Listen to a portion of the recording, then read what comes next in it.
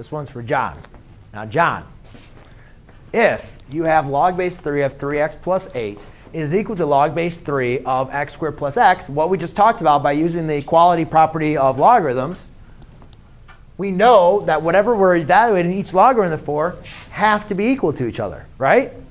So now we have 3x plus 8 is equal to x squared plus x. Now again, this is a quadratic equation. So to solve a quadratic equation, we got to make sure we set it equal to 0.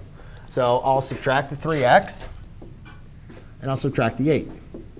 So therefore, I have 0 equals x squared minus 2x minus 8. Now we got to say, all right, how are we going to solve this, right? Factoring, quadratic formula, or completing the square. Um, I'm not, eh, I could complete the square, but factoring is always the easiest one and the quickest usually. So we see what two numbers multiply to give us negative 8 and add to give us a negative 4. So 0 equals x minus 4 times x plus 2. Then we can apply the zero product property and say that x minus 4 equals 0 or x plus 2 equals 0. Solve for x. x equals 4. x equals negative 2. Done. I know I did go pretty fast, but therefore you can see all the work. Do you have any questions?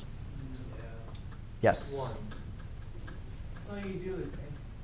as long as your as long as your logarithms are set equal to each other and they have the same base, we can eliminate them and just evaluate for and just solve for what they've evaluated for. Yeah, I once I have this equation, it's a quadratic, right? I can't just I can't combine the x squared with the x. So it's a quadratic equation. So I get them all on the same side and set them equal to 0. Because for a quadratic, there's three solving processes that we've talked about.